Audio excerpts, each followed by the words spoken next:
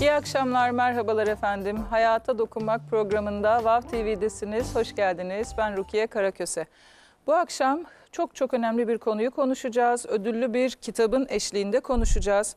Kıymetli hocam Doktor Mustafa Merter psikiyatr bizimle. Hoş geldiniz hocam. Hoş bulduk efendim. Nasılsınız? Elhamdülillah efendim. Sizler de iyisiniz inşallah. Teşekkür ederim. Sizi burada görmekten dolayı çok mutluyum. Ee, hocamın çok kıymetli bir kitabı çıktı geçtiğimiz günlerde ve e, Türkiye Yazarlar Birliği tarafından araştırma ödülü aldı.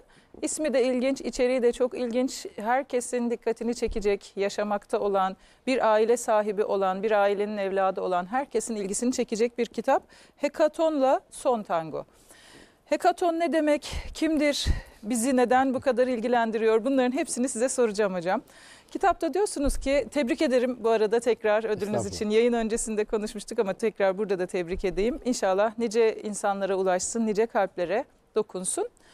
Ee, bu kitapta diyorsunuz ki bu bir küresel savaş. Nedir o küresel savaş? Aileyi ifsad etme ve insanlığı yeniden yapılandırma projesi. Bu bir küresel savaş ve bunun bazı cepheleri var diyorsunuz. Ee, bugün bunları konuşacağız. İlk cephe ise kadim terbiye sisteminin çökertilmesi. Bu nasıl gerçekleşti? Buradan başlayabilir miyiz dilerseniz? Başlamadan evvel nasıl böyle bir fikir aklıma geldi? Fakir bildiğiniz gibi psikoloji üzerine, nefs ilmi üzerine acizane işte çeyrek asır oldu mu e, Olmuştur. e, 25 senedir aşağı yukarı bir nefs ilmi üzerine çalışmalar yapıyorum ve sosyal e, araştırmalar pek benim ilgi alanım içinde değildi. Bunun bir istisnası var. İlk yazdığım kitapta 900 katlı insanda bir Kaliforniya sendromundan bahsettim. 1996 tarihinde Amerika'ya gittiğim zaman insanlarda bir değişiklik var gittim. İletişim tarzlarında bir değişiklik vardı. Normalde benim alıştığım bir, bir psikiyatr olarak işte baktığın zaman bir insan grubunda mesela İsviçrelilerde, Almanlarda vesaire bir kendilerine has bir tarz vardır. Amerika'da başka bir şey gördüm. İşte kitabın o, o kısmında dok- e, şeyi e, Kaliforniya sendromu diye bu değişikliği bir şekilde mahiyetini anlamadan, neyin nesi olduğunu anlamadan yazdım. Derken ben bunu unuttum. Ta 2006 senesine kadar gelene kadar, 2006 senesinde e, 2009 senesine gelene kadar, 2009 senesinde Jean Twenge'nin Ben Nesli kitabı çıktı. Kitabı okuduğum zaman toplumdaki o derin değişikliğin yani benim Amerikalılarda gördüğüm bazı şeylerin nereden kaynaklandığı üzerine bir fikir uyandı içimde. Hemen Türkçe'ye tercüme ettirdim. Kitabın ön sözünü yazdım. Ve hakikaten eee, böyle çok hızlı bir şekilde bir özellikle gençler bir değişimden geçiyor. Mesela 1955'lerle 1990'lar arasındaki kaygı artış oranları gençlerde Twenge'nin çalışmasında yüzde 85 depresyonlar artıyor, bağımlılıklar artıyor vesaire. Dedim ya ne oluyor? Yani neticede bu nereden kaynaklanıyor? Yine bu düşünceler kaldı aklımda ama daha ötesini araştırmadım derken bundan 4 sene evvel bir yaz biliyorsun yazları biz İsviçre'ye gideriz hanım e, benim oralı. İsviçre'ye gittiğim zaman o Alplerde böyle çiçeklerin arasında dağlarda dolaşmak oh bayılırım ona kafada ne varsa gider. Çünkü psikiyatri, psikoterapi bildiğin gibi zor bir ilimdir. Hep dert dinliyorsun. İnsanların derdini taşıyorsun. Sonra işte o iki, o iki ay bana çok iyi gelirdi. Zürih Havalimanı'nda uçak indi, telefonum çaldı. Bir hanımefendi beni aradı bir STK'dan, bir Türkiye'deki bir STK'dan. Son zamanlarda artan e, bu cinsel sapıklıklar üzerine bana danışmanlık yapar mısınız dedi. E, işte böyle LGBT falan filan diye tanımadıkları şeyler. E, bir saat, bir buçuk saat kadar telefonda konuştuk. Uçak değilmiş, ben Zürih Havalimanı'ndayım. Çünkü önemli bir konu olduğu için bekledim, konuştuk. Derken telefon bitti, ara kiraladık, kiralık arabamı aldım, bindim dedim şimdi ben gideceğim dağlara ne güzel. Oh! Radyoyu açtım. Liseyi Fransızca okuduğum için Fransızca dinlemeyi çok severim. Fransızlar böyle şarkı söyler gibi konuşurlar. Açtım İsviçre'nin Fransız kesiminin radyosunu. Bir e, program var. 5-6 yaşında çocuklarla bir interview yapılıyor. Dedim ne anlatıyor bunlar yahu dedim. Çocuklar ne diyor biliyor musun Rukiye? Benim iki babam var. Pikniğe gittiğimiz zaman ben iki babamla gidiyorum. Öbürü diyor ki benim de iki annem var diyor. 5, 6 yaşındaki veya 7, 8, 9, 10 yaşında çocuklara İsviçre'nin devlet radyosunda bu işin kabullenilmesi için propagandasını yapıyorlar. Dondum kaldım. Dedim ki ya ben İsviçre Tıp Fakültesinde okurken böyle bir şey olabilir miydi? Mesela ne bileyim ben İsviçreli arkadaşlarım vardı. Onlar böyle bir şeyi kabul edebilir miydi diye. Dedim ya ne oluyor bize? Bu dünyaya ne oldu dedim. Bir de o telefon konuşmasından sonra bu radyo programı biliyorsun tevafuklar, anlamlı rastlantılar çok eee, önemlidir. Yani Rabbül Alemin sanki bir işaret veriyor. Dedim ki bu işin son 80 senenin eee, özellikle Amerika üzerinden değişen sosyal değişimleri meydana çıkan sosyal değişimlerin bir meta analizini yapmak istiyorum dedim ve araştırmaya başladım. Eee, bu meta analiz de yavaş yavaş farklı cepheler meydana çıkmaya başladı. Şey gibi düşün bunu, eee, bir bir eee, savaşın farklı cepheleri gibi düşün. Mesela Jean Twenge'nin Ben Nesli kitabındaki terbiyenin ortadan kalkması, işte çocukların her istediklerini yapıyor olmaları, narsisizmin artması, işte her, şeyi, her şeye kendilerini layık görmeleri vesaire. Peki bu nereden kaynaklanıyor da böyle bir şey? Çıktı dediğim zaman geriye doğru gittiğimiz zaman geldik 1970'lere Amerika'daki değerlerin yeniden belirlenme hareketi. Values clarification. Values clarification şu e, bir öğretmen veya bir ebeveyn çocuğuna şu doğrudur bu yanlıştır. Mesela güzel ahlak e, konusunda bak bu ahlaktır, bu ahlaksızlıktır gibi bir şey söyleme hakkına sahip değil. Çocuğun kendi bulmasına izin verin diyorlar. Şimdi diyeceksin ki ya bu ne yani bu ne kadar e, önemli ne olur bir küçük bir hareket değil. Yüz binlerce kitap basılıyor ve bilmem ne kadar yüz binlerce öğretmen tamamen bir e, endoktri, endoktrinasyondan geçiriliyor ve terbiyesiz eğitim sistemi Amerika'da yerine oturuyor. Bize bu yansıdı mı? İşte ben, ben Nesli kitabında Twenge diyor ki eğer diyor üçüncü dünya ülkeleri diyor, bizim hayat tarzımızı belirler, be- be- benimserlerse diyor. Nasıl Coca-Cola işte McDonald's falan girdi hayatlarına. Bu hayat tarzı da hayatlarına girecek diyor ve nitekim de girdi. Girdi. Ve işin ilginç tarafı, işin ilginç tarafı, aman Allah'ım yarabbim. Peki bunun mimarları kim? Türkiye'de kim? Yani values clarification ya değerlerin yeniden belirlenmesi. Yani as, aşırı müsamahakar terbiye sistemini Türkiye'de öne çıkartanlar kim? Ya bizleriz bizler. Psikiyatr ve psikologlar. Biz dedik insanlara çocuğun üstüne varma, çocuğun şu olsun, bırak çocuk kendi seçsin, çocuk özgürlüğünü yaşasın diye. Ve ne yaptık biliyor musun? Çok basit bir şey yaptık. Ama devasa bir yan etkileri olan bir şey yap. Çocuğa karşılığın, çocuktan karşılığını almadan her şeyi alabileceğini telkin ettik. Dünya onun etrafında dönüyormuş gibi Evet. sanki. Çocuk mesela şu- şunu istiyorum, bunu istiyorum. Sen bunun karşılığında ne vereceksin? En küçük yaştan itibaren. Bizim katip terbiye sistemimizde Rukiye'cim bu vardı. Bu kalktı. Bu gitti. Şimdi e, çocuk her şeyi kendisini hatta o hale geldi ki işte ne bileyim ben e, yetişkin oluyorlar hala e, anne baba e, himayesi altında belli bir yaşın üzerinde e, seyircilerimizin içinde kim bilir kaç kişi vardır bu duruma duşar olan böyle bir e, şey ortaya çıktı. Evet buyur. Estağfurullah. Bu kadim terbiye sisteminin çökertilmesi pek çok şeyi de zincirleme, domino taşı etkisiyle Evet. aslında değil mi tahrip etti? Ee, çocuğun etrafında dönen bir dünya, narsistik bir benlik çekirdeği inşa ediyor. Her şeyi isteyebilirsin, her şey sana verilecektir. Hiç emek ve çaba göstermene gerek yok. Ee, ve sadece var olduğun için her şeyi hak ediyorsun. Tamam insan eşrefi mahlukat başka bir boyutuyla evet ama çocuğu e, dünyada almadan e, vermeden almaya programlıyoruz. Bir de otoriteyi yok ediyor. Yani başında Otoriteye şimdi birazdan geleceğiz. otoriteye. e, evet. o kadim terbiye sisteminin çökmesinde evet. Birden fazla cephe var. Peki e, baba otoritesini soracağım ama ondan önce kadın biraz daha hayatın merkezinde ya anne daha doğrusu. Kadın hakları derken erkek kadın oluşturma projesi Oraya uygulamaya geleceğim. koyuldu Oraya, diyorsunuz. oraya Ha, geleceğim ama oraya gelmeden evvel peki bu e, şeyin terbiyenin ortadan kalkmasının mesela bizdeki yansımalarını şöyle biraz düşünürsek e, ne bileyim işte bundan 20-30 sene öncesine kadar istenmeyen şeyler ister hale geldi bu çocuklar. Bilmiyorum senin çevrende var mı ama benim çevremde birçok genç kız 16-17 yaşında ben Avrupa'da tek başına lise okuyacağım deyip Hı hı.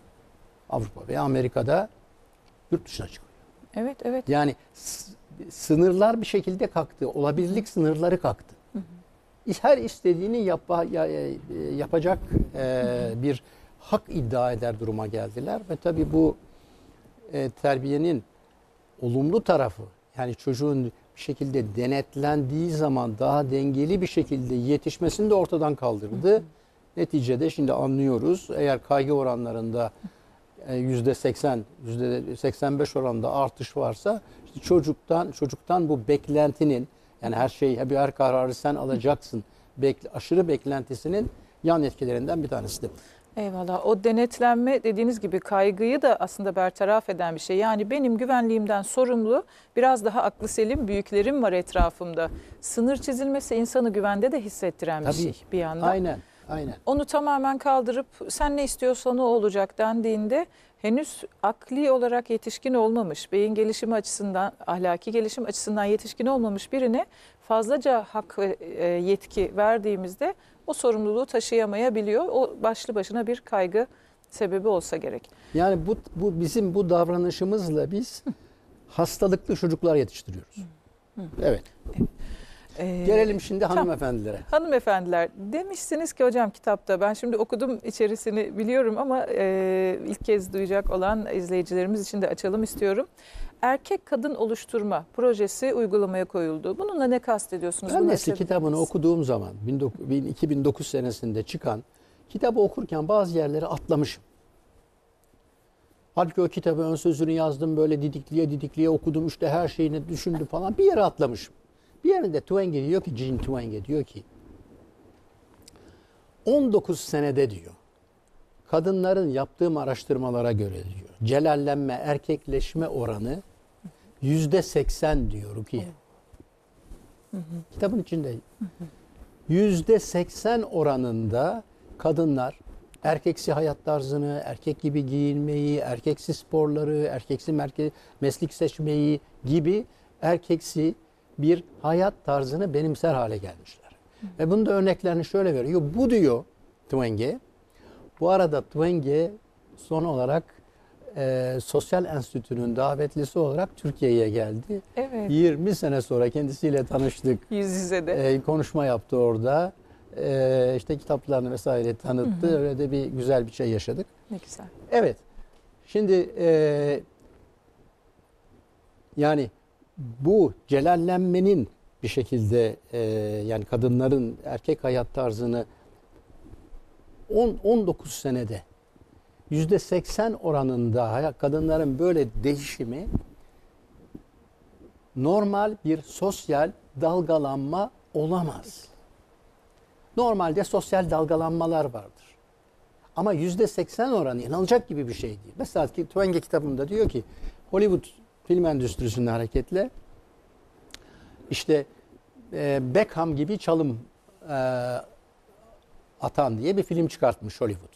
Orada bir Hindistan kökenli İngiliz genç bir kız futbolcu olmak istiyor. Ailesi karşı çıkıyor ve neticede de kız ailesini ikna ederek futbolcu oluyor. Allah Allah dedim. Niye bu şeyi veriyor? İşte başka bir örnek daha veriyor. Kadınlara özellikle Hollywood üzerinden bak bu içinde bulunduğumuz savaşın asas cephelerinden bir tanesi Hollywood film endüstrisi. Mesela e, Twenge kitabında yazmıyor ama şeyin e, One Million Dollar Baby, 1 milyon dolarlık baby diye Clint Eastwood'un bir filmi vardı. Orada bir kadın, bir genç bir kız yüzünü gözünü patlatarak dünya şampiyonu oldu. Yani e, filmde sanki bu idealmiş bir şey gibi. Bir de One Million Dollar Baby yani baby. Ben artık baby değilim. Ben savaşçı kadın gibi bir şey. E, bu şekilde kısa bir zamanda bir e, diyeceksin ki peki bunun zararı nedir? Yani kadınların erkek meslekleri icra etmeleri, işte erkek e, e, giyimleri, kuşamları o şekilde olması. Güçlü hissetmesi, işte Olması. para kazanması, güç kazanması Tabii. çok da hoş gösteriliyor görünüyor bir Evet. yandan da. Birinci e, bunun yan etkilerinden bir tanesi evlilik yaşının hep daha yükseğe çıkması. Kadınlar artık evlenmek istemiyor. Türkiye'de galiba şimdi 30 yaşlarına falan geldi genç hanımların Yükseliyor. evlilik yaşları. Ama bunun yanı sıra bir dizi psikolojik ve somatik yan etkileri var bunun. Bir kadının kadınlığını yaşamaması mesela somatik açıdan bakarsak birçok kanser türleri hamile olmayan kadınlarda e, rahim kanseri, e, göğüs kanseri, yumurtalık kanseri, hipertansiyon ra- rahatsızlıkları, e, polikistik over sendromu gibi birçok patolojiler çıktı. Yoktu bunlar eskiden. Bunu da şöyle anlatıyorlar. E, ikinci kitabımda Nefs Psikolojisi'nde geciktirilmiş annelik sendromu diye bir şeyden bahsettim. Geciktirilmiş annelik sendromu hissettim o zaman. Dedim ki kadınların bu kadar erkeksi bir hayat tarzı sürdürmeleri bazı sakıncaları olabilir diye. E, Michio Kaku diye bir kuantum fizikçisi vardı. Onun da çok ilginç kitapları vardır böyle. Adam aynı zamanda da Nobel ödüllü bazı bilim adamlarıyla görüşmeler yapar. Diyor ki östrojen hormonu yüksek oktanlı bir benzin gibidir diyor. Eğer bir hanımefendi progesteron e, aralıkları yaşamazsa yani hamile kaldığı zaman vücut progesteron yani ana rahmini hazırlayan e, hormonu salgılıyor. Yıpranır diyor. Çöker kadın diyor. Bak yani bilimsel Evet. olarak bunun karşılığı var. Çünkü östrojen fazla östrojen hatta diyor ki östrojeni yüksek oktanlı bir benzine benzetebiliriz diyor. Sürekli sen o benzinli arabayı kullanıp gaz verirsen motoru yakarsın diyor. Ya kadınlar gidiyor. Sadece sosyal açıdan evlilik yaşının 30'lara 35'lere gelmesi değil. Bu işin somatik yönü, psikolojik yönü. Bana sev, devamlı hanımefendiler geliyorlar. Hatta şöyle bir tevafuk oldu.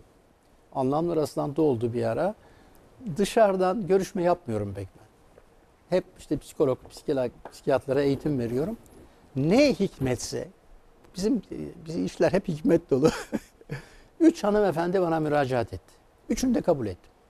Dışarıdan. Yani işte psikolog, psikiyatr olmayan. Ee, üçünde de işte 40 yaşlarında vesaire bir orta yaş depresyonu var. Üçü de hayatında yapmak istedikleri her şeyi yapmışlar. Bir tanesi e, bir endüstride çok bir patron, bir holdingin sahibi. Birisi bilim alanında çok yüksek seviyede birisi. Bir diğeri de yine çok e, başarılı bir doktor. Üçünün de üçü de evlenmemiş, üçü de çocuk sahibi değil. Üçü de bana geldiler. Bütün ben yapmak istediklerimi yaptım. Ulaştım. Amerika'da şu eğitimi aldım. Şunu yaptım. Bu holding patronu. Peki benim derdim ne? Niye mutlu değilim? İki hanım kaç yüzde 40 oranlarına çıktı hanımefendilerin antidepresif kullanmaları. Bak çevrene. Yüzde 40 oranında hanımefendiler antidepresif yutuyor. İşte bu ikinci cephe yani erkek kadın yaratma projesi büyük zarar. Peki bu zararın diğer, diğer şey nedir? E çocuk yapmıyor. Çocuğu varsa çocuğuna çocuğuna yeterince ilgilenmiyor. Yani çok ciddi bir şey bu. O şey olarak. Annelik Evet. kimliği de bir de değersizleştirilince sanki alelade bir şeymiş gibi. Ee, işte o güçlü ol, başarılı ol, altı çizilen ve özendirilen diğer e, hedefler belki daha öne geçiyor. Çocuk sahibi olmak ya bir ara olur, olmazsa da çok dert değil gibi. Aradan çıkarılıvermesi gereken bir şey gibi. O da tabii hem o çocuğun üstünde etkisi oluyor hem o annenin üzerinde etkileri oluyor. Bir küçük parantez daha açalım. Şimdi tabii kadın evlenmezse, erkekleşen bir kadın evlenmezse, bir şekilde erkek tarzı bir hayat sürdürürse, e, insan nesli de e, daha az yürüyecek. Son zamanlarda, son 10 senede bir şey fark ettin mi? Toplumdaki bir değişim. İnanılmaz olanlarda bir bir bir hızlı bir şekilde bir değişim yaşıyoruz. Bir şey söyleyeceğim çok güleceksin. Hayır olsun. bir şey fark ettin mi? Ya biz hayvanları hep sevdik. Benliğe lanet askerken, askerdeyken bir fabrikanın, uçak fabri- ana bakım fabrikasının doktoruydum. Kantindeki bütün yemekleri toplar, köpeklere dağıtırdım. Biz hayvanları hep sevdik. Bunu mahsustan önce söylüyorum ki vay bak hayvan sevmiyor deme. Yahu bu hayvan sevgisi, bu gördüğümüz hayvan sevgisi. Normal bir hayvan sevgisi. Bu nedir bu? Yani eee, çocuk arabasında hayvan, kedi, ke- köpek gezdirmek. Ah. 260 milyar dolar Amerika'da, y- 100 milyar dolar Amerika'da her sene kedi köpek mamasına harcanıyor. Dünyadaki kedilere, köpeklere yapılan eee, harcamanın, kitapta var bunlar, 260 milyar dolar. Ve bu arada Afrika'da dünyanın üçüncü dünya ülke- ülkelerinde çocuklar açlıktan ölüyor. Bir arkadaşım aşırı harcama yapan kızına kedi köpek maması için demiş ki kızım demiş bak güzel tamam sen çok merhametlisin ne güzel yapıyorsun. Ama bak dünyada aç çocuklar var. Kızın verdiği cevap ne olmuş biliyor musun? Çocuklar beni ilgilendirmiyor olmuş. Neyi anladın? Yani bu sevgi eğer empatiyle ilgili bir şeyse e, türdeşine de biraz o empatiden pay düşmeli değil miydi? Bir şey daha anladık ama. İkame İstedikleri edilmiş. gibi bizim ay 10 senede bizi istedikleri gibi delileştiriyorlar. Bu süre tabii bir süreç değil. Evlat tabii bir hayvan sevgisi değil. değil bu. değil evlat yerine ikame edildi. Yani kitapta öyle diyorum bunu. Merhamet kaydırması yapıyorlar. Normalde genç bir kızımız ne düşünür? İşte evlendikten sonra 20-25 yaşında eh ben de anne olsam, bebeklerim olsa, eşimle beraber büyütsek der. O sevgi eğer şeye kayarsa, e, hayvanlara kayarsa evlenme ihtiyacı duymayacak. Nitekim de evlenmiyorlar.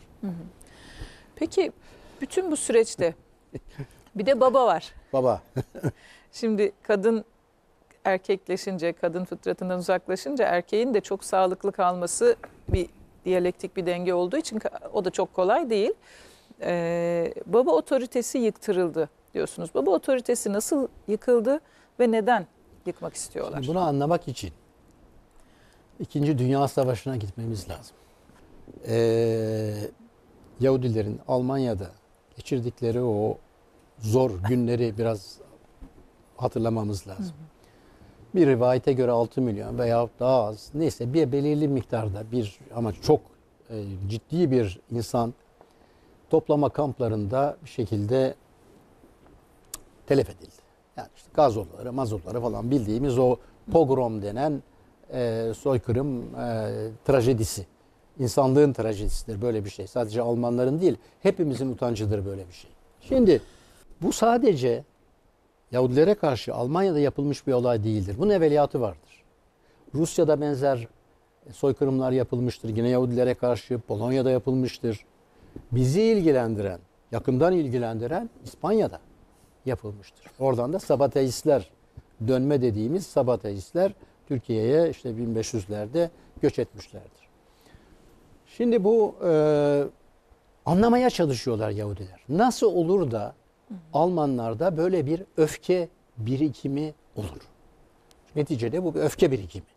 Nasıl olur da bu Almanlar bu kadar öfkelidir ve e, çoluk çocuk demeden, genç, yaşlı demeden insanları bu şekilde telef ederler. Anlamaya çalışıyorlar ve Freud teorisinden hareket ederek, bak bu çok önemli bir şey, bunu anlamamız çok önemli. Freud diyor ki, aslında pek e, ciddi alınacak bir teori değildir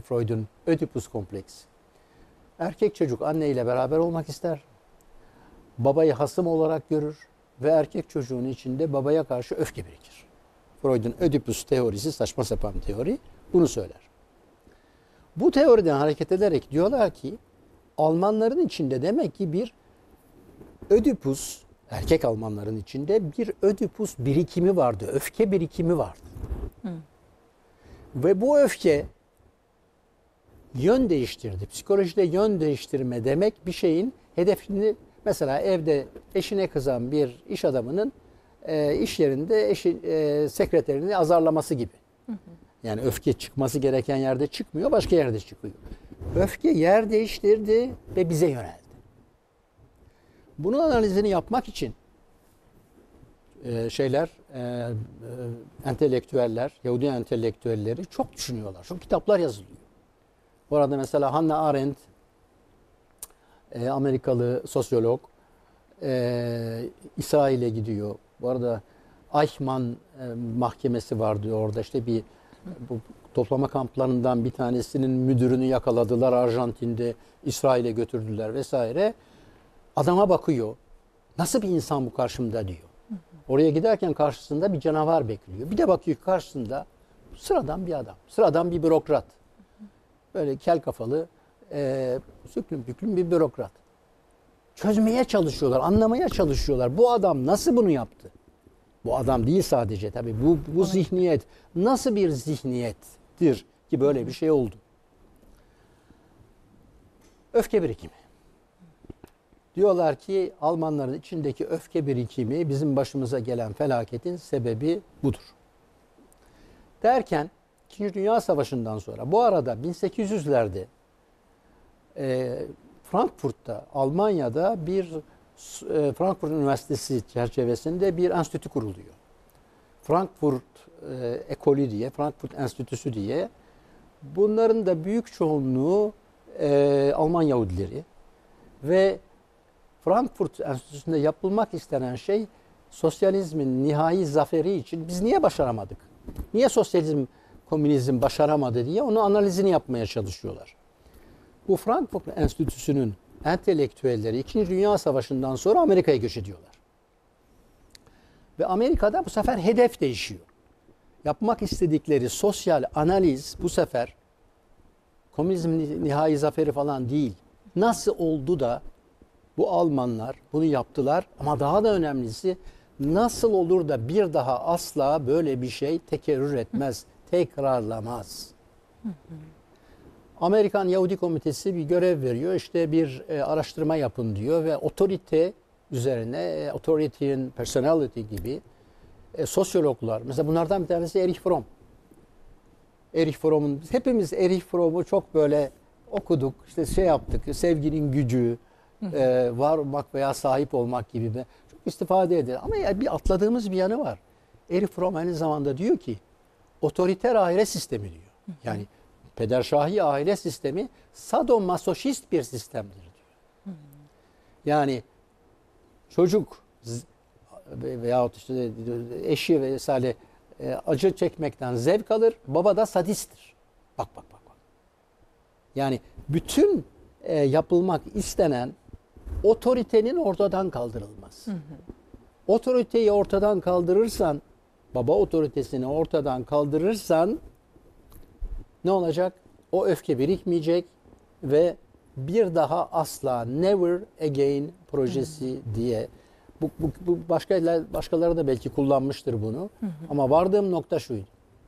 Yani bu entelektüellerin yapmak istedikleri şey sadece 2. Dünya Savaşı'nda başlarına gelenlerin intikamını almak değil. O da var. Yani e, şeye karşı e, İbranice'de goy kav demek. Büyük bir ihtimalle. Goyim kavim. E, bizi Yahudi olmayanları kavim diye nitelendirirler. Kavim. Biz goyimiz. Goyim. Kavimler manasında ama bu biraz e, gavur manasında söylenir. Yani okuduğun zaman pek iyi. Biz seçilmiş halkız. İşte öbürkülerde işte kavimler manasında. Onlara hizmet edelim diye Evet. yaratıldığımızı falan Ha, ha. Şimdi düşünüyorlar. go- goyimleri bir daha asla bu işi yapmayacak hale getirmek, intikam değil sadece, asla bu işi yapmayacak hale getirmek Never Again projesinin e, meydana konduğu ve tatbik edildiği yavaş yavaş e, meydana çıktı. Bu konuda e, okunacak kitaplardan bir tanesi son olarak Türkçe'ye tercüme ettirdiğimiz Kevin MacDonald'ın bir kitabı onu gösterirlerse arkadaşlar şey. Gösterecekler, ekleyecekler. Kevin MacDonald bunun bir meta analizini yapıyor ve şeyi anlatıyor. Tabii şimdi baba otoritesinin ortadan kalkması diyeceksin ki ya tamam işte çocuklar daha rahat vesaire Daha değil. özgür olsunlar So- diyecekler. Toplumda inanılmaz bir çözülme yaratıyor. Bugün Amerika'da gördüğün, Amerika'daki o sokaklarda gördüğün rezalet Amerikan hay- şöyle düşün. Bir, çok, ben bazen çok severim o 1920 30 40'ların filmlerini severim böyle. Bir asil bir Amerikalı şeyi vardı böyle. İnsanlar edepliydi, işte ne bileyim e, kendilerine göre bir bir bir güzellikleri vardı Amerikalılar. Bir de şimdi şu anki Amerika'ya bak. Ya nasıl bu kadar şey, kaç 70 senede böyle bir şey nasıl olabilir? Yani bu işte otoritenin ortaya kalkması, ortadan kalkmasıyla aile dağılmaya başlıyor. Kevin MacDonald çok ilginç bir araştırma e, kitabında zikrediyor. Öyle bunun şeyleri var ki, yan etkileri var ki düşün mesela bir e, üç çocuklu bir aile düşün. İşte iki e, oğlan, iki de kız var. Baba otoritesi ortadan kalktık. Baba diyor ki kızlarına aman diyor bak kızlarım benim işte. Aman diyor gece geç e, 12'ye kadar çıkmayın işte eve gelin işte iffetinizi koruyun falan filan diyor. Hangi kız daha fazla babasına uymayıp evlilik dışı bir hamilelik yaşayabilir? Bu soruyu hep sorarım. Kimse cevabını veremez. Ben de okuduğum zaman çok şaşırdım. Ya IQ'su en düşük olan. Buradan da ne çıkıyor biliyor musun Rukiye? IQ düşüyor. Rakamları vermiş. Evet. Yani baba otoritesi gittiği zaman hem aile dağılıyor. Yani çekirdek aile dağılıyor. Hem insanlar aptallaşıyor. Hem her türlü patolojiler. Şimdi eğitim ortadan kalktı birinci cephe. İkinci cephe annelik ortadan kaldırıldı. Erkek kadın yaratma projesiyle. Üçüncü cephe baba otoritesini de bir şekilde ortadan kaldırdılar. Baktığın zaman artık Amerika'da görüyorsun babasına adıyla hitap ediyor. Yani bizlere başladı maalesef o şey. Baba otoritesi de üçüncü cephe. Bir imdat diye bil diye bağırsam Eyvallah. Eskiler demiş ki bir of çeksem karşıki bir dağlar yıkılır. Dağlar inler. Hakikaten. Sen ben sana bir şey söyleyeyim mi? Bu kitabı yazarken gastrit oldum sıkıntıdan. Çünkü hakikaten insanların derdiyle dertlendiğiniz zaman böyle büyük ölçekte bir empati kesinlikle fiziksel olarak Evet bir de bir de bu kadar böyle rezilliği araştırmak insanı hasta ediyor ya. Hı hı, Değil mi? Hayrı görmek, güzelliği görmek içinde de bahsediyorsunuz. Yani iyiliği ve güzellikleri gör, diğerlerini setret. Hani bu terbiyeyle büyüdüğümüz için e, hani bu çok alışkanlığımız değildi ama birinin de söylemesi gerekiyordu. O yüzden yazdım ve yazım sürecinde çok En zorlandım fazla beni ne isyan ettirdi biliyor musun? Aslında çok tereddüt ettim. Ben bu kitabı yazmayayım falan. Ya yuvalardaki çocuklara yaptıkları beni şey yaptı. Hmm. Yuvalar. Ad- yasakladığınız adlarını veremiyorum. Türkiye'de iki film şirketi var. Amerikan kökenli. Evet, evet. O film şirketlerinin yaptıkları metakomünikatif algoritma üzerinden yaptıkları ta yuvalardaki çocukları ifsad etmek istiyorlar Rukiye. Evet, evet, evet. Çok organize o dijital Ve platformlar. bizim topraklarımızda milyarlarca dolar para kazanıyorlar. Hı hı. Ne nasıl gülüyorlardır bizim halimize biliyor musun? Hem Türkleri bozuyoruz, Türklerle maymun gibi oynuyoruz, istediğimizi yaptırıyoruz, hem de şu kadar para kazanıyoruz diyorlar. Ve e, istemeyen izlemesin, bakmasın diyorlar ama o kadar kolay değil. Sürekli bunu arz ettikleri, sundukları zaman ve bir popüler kültür oluşturdukları zaman insanlarda da bunun bir karşılığı oluyor. Bir talebe dönüşüyor. Ve e, hangi birini eleyeceğiz? Bu filmde çok güzelmiş ama içinde de şöyle bir karakter varmış. Bir şey olmaz ona takılmayız derken her filmin içinde o karakterlerden tekrar tekrar gördüğünde bir algı yönetimi oluyor, bir e, bakış açısı değişikliği oluyor. Kişinin kendi bile bunu fark ettiğinde çok geç olabiliyor. Tam da bu noktada diyorsunuz ki kitabınızda eşcinsel hayat tarzının ve bazı sapkınlıkların küresel çapta eş zamanlı olarak görünürlüğü arttırıldı. Ee, eşcinsel hayat tarzına eşlik eden bazı patolojiler de var. Bunlardan da pek bahsedilmiyor. Bu konuda çünkü çok güçlü bir lobi var. Ee, eşcinsel hayat tarzının bedene ve ruh sağlığına zararları nelerdir? Saf Mustafa Zürih'te psikiyatri polikliniğinde oturuyor. Psikiyatri polikliniği Zürih'te Burkölse Hastanesi çok güzel bir hastanedir. Onun da psikiyatri polikliniği o Zürih'te psikiyatri geleneği çok derindir. Mesela Carl Gustav Jung falan onun, onun çalıştığı hastanede asistandım. Poliklinikte oturuyor. Bir hasta geldi. Mesleğini aldım işte anamnez alıyorum. Mesleğini falan sordum. Ben dedi tiyatrocuyum dedi. Aa dedim ne kadar güzel. Derdiniz nedir dedim. Ya dedi işte depresyonum var, depresyonum var vesaire. İnsanlar beni çok sukutu hayale uğrattı, düş kırıklığına uğrattı dedi. Bu arada dedi haberiniz olsun dedi. Ben dedi kadınlardan bahsetmiyorum dedi. Erkeklerden bahsediyorum. Ben eşcinselim dedi. Ha iyi dedim. Evet dedim. Ee, şimdi normalde bir hanımefendi bana söylediği zaman işte son olarak ne zaman yaşadınız? E, kaç kişi sizi sukutu hayale uğrattı? Gibi anamnez sorarız. Bilgi toplarız yani. Ben de saf saf. saf Mustafa. Dedim ki peki dedim son kaç kişiden yaşadınız bu dedim bu travmayı dedim. Bana bak şöyle. 500 kişi olmuştur dedi. Bilmediğim için mevzuyu şaşırdım. Benim aklım almıyor dedim. 500 kişiyle dedim nasıl bunu yaşar? Adam da genç adam. 30-35 yaşlarında bir adam. Nasıl yaşarsınız? Her gece umumi tuvaletlere gidip 2-3 kişiyle beraber olursanız olur dedi. Ben zannettim ki bu müfeit bir olay. Yani neticede işte bu adamın hayat tarzı böyle, bu adam bunun delisi. Yani bu adam buna fazla düşkün gibi düşün.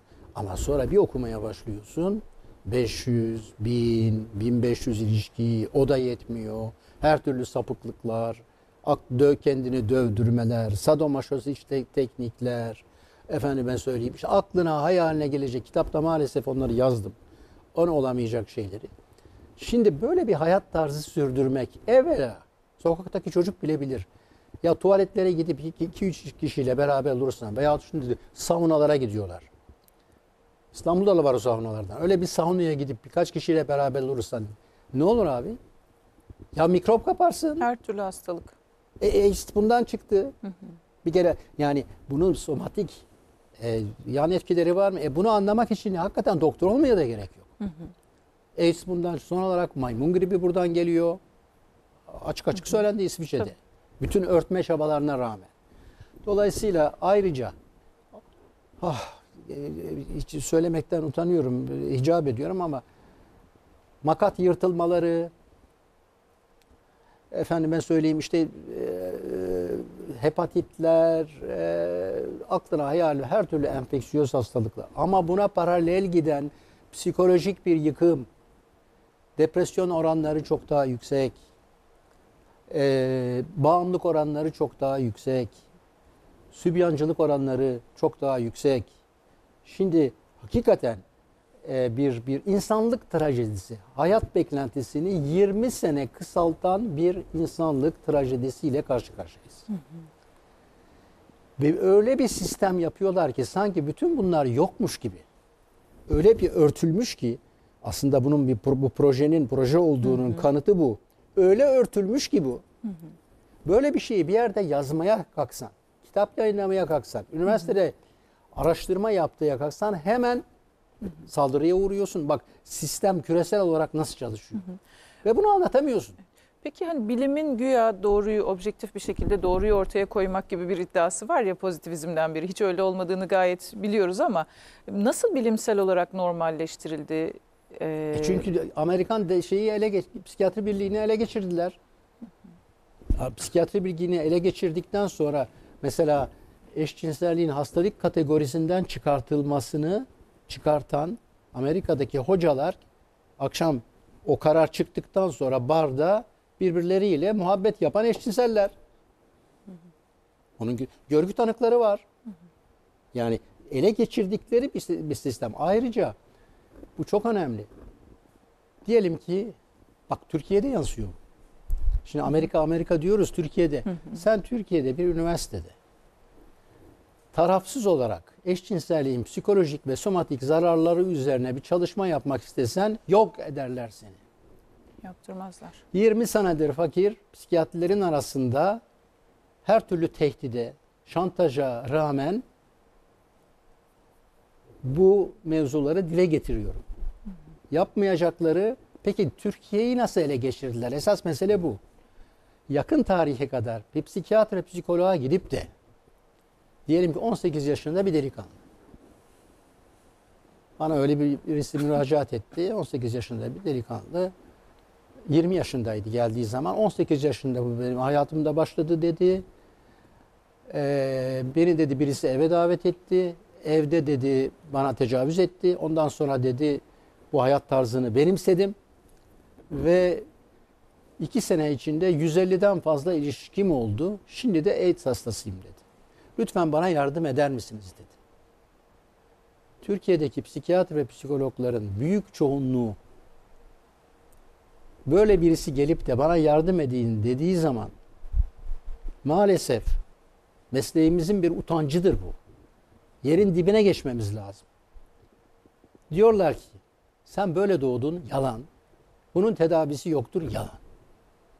Anlatabiliyor muyum? Şimdi sistem nasıl Türkiye'ye nüfuz etmiş, bizim Türkiye'yi de ele geçirmiş ve eee çok hızlı bir şekilde erkek eşcinselliği yüzde ikiden yüzde dörde, yüzde dörtten yüzde sekizlere, hanımefendilere yüzde otuzlara kadar yükseldi.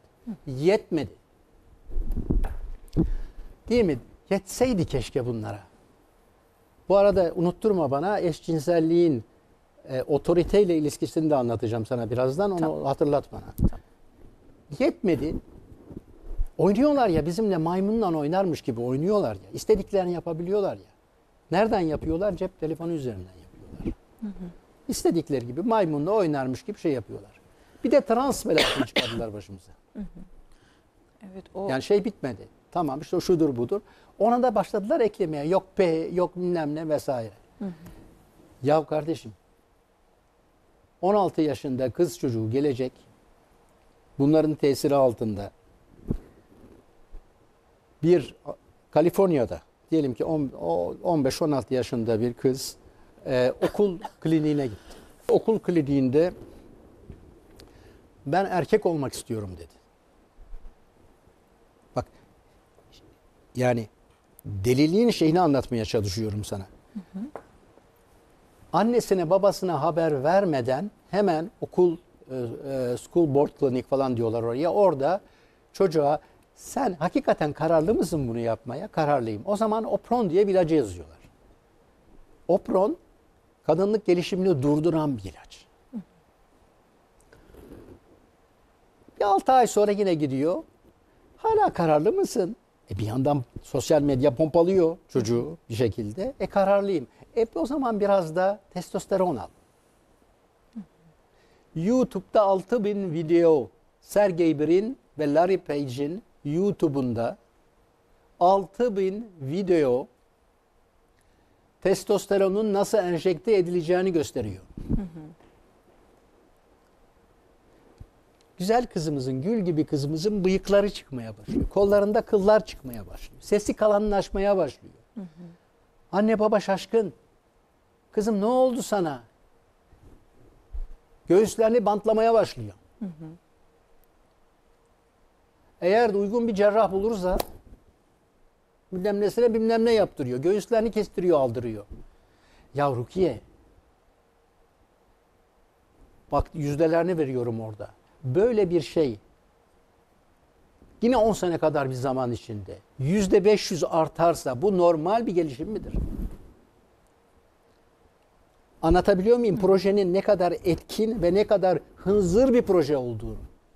orada tetiklenmiş bir şey var. Ha. Hani şunu söylüyor. Tetiklenmiş e, falan değil. Proje tabii tabii, pompalanmış. Güdümlenmiş, güdümlü. e, kimse bir propagandayla bakıp da özenerek eşcinsel olmaz diyor e, bunu savunan e, lobiler diyelim. Buradaki mesele tamamen heteroseksüel birinin durup dururken aa gördüm ben de böyle olayım demesi değil zaten.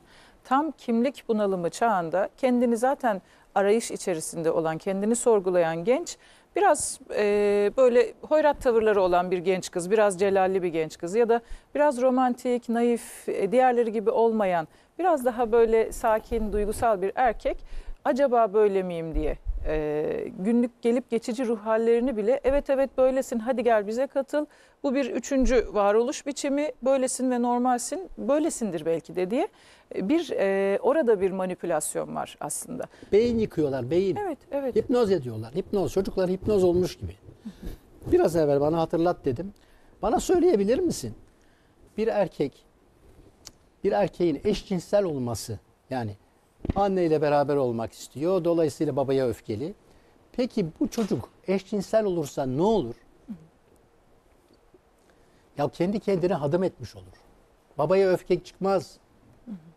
Eşcinselliğin bu kadar teşvik edilmesinin sebebini anlıyor musun? bütün denge o kadın erkek Bunu anladın mı ama bunu ince detayı anladın mı? Çok önemli. Çünkü dinleyicilerimiz de anlasın. Yani öfke erkekse erkek olarak erkek kimliğiyle özdeşleşmişse sahipçi olmak istiyor. Diyelim ki öyle bir şey var. Anneye sahip olmak istiyor. Ama erkek kimliği yoksa dolayısıyla sahip olmak istemeyecek. Dolayısıyla öfke birikimi olmayacak.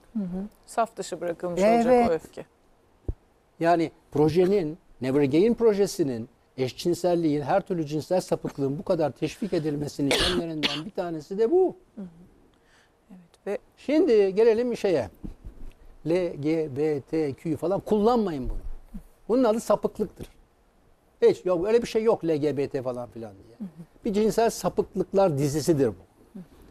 Peki Judith Butler, The Great Butler, Judith Butler bir Amerikalı sosyolog.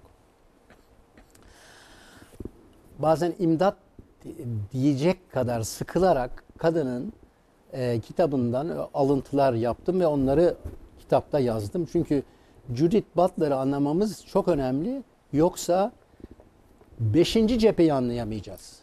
Bak birinci cephe terbiyenin ortadan kalkması. İkinci cephe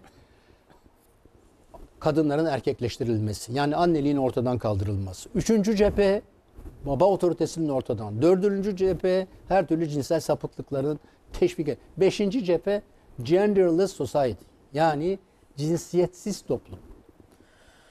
Ve e, araya da çok kısa bir zaman kaldı ama o cinsiyetsiz toplumda e, ruh ve beden birliği açısından nasıl bir birlik ve o eril dişil dengesi, celal cemal dengesi, tevhid nasıl ortaya çıkacak? Mümkün O- mü bu? Oraya girersek sabaha kadar konuşuruz ama evvela Judith Butler'ın şu cümlesi üzerine biraz şey yapalım. Judith Butler diyor ki LGBT falan bizim problemimiz değil diyor.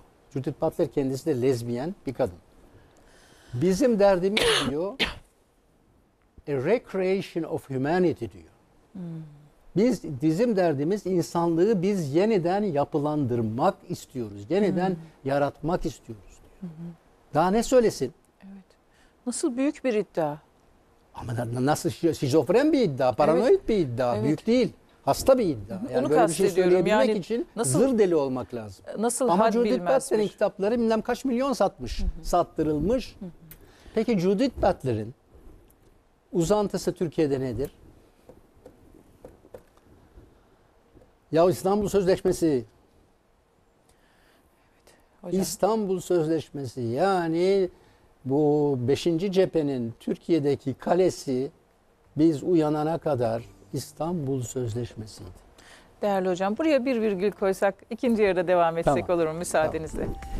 Değerli izleyenler biz kısa bir aranın ardından saat başında tekrar burada olacağız. Görüşmek dileğiyle efendim.